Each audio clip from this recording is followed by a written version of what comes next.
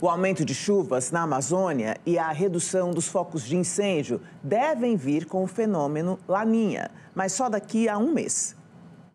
O fenômeno está na fase de neutralidade e deve começar a atuar no final de setembro e início de outubro. Enquanto isso, o governo federal anunciou um plano de ação nas áreas mais atingidas pelas queimadas, em parceria com os estados que integram a região amazônica.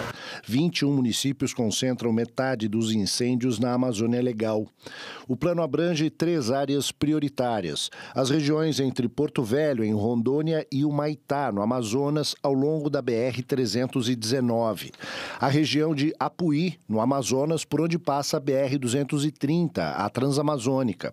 E a região de Novo Progresso, no oeste do Pará, ao largo da BR-163. Nessas localidades serão instaladas bases de órgãos federais como IBAMA, FUNAI, INCRA, além da Polícia Federal, polícias estaduais e outras agências dos estados e das prefeituras das cidades. 60% da queima vegetal atingem áreas de preservação e Conservação da União. Os outros 40% estão em áreas de responsabilidade de estados e municípios. O governo federal articula a proibição de novas queimadas com os estados envolvidos, porque nem todos o fizeram. Atualmente, segundo o Ministério do Meio Ambiente, 1.400 brigadistas combatem o fogo em 360 frentes de contenção.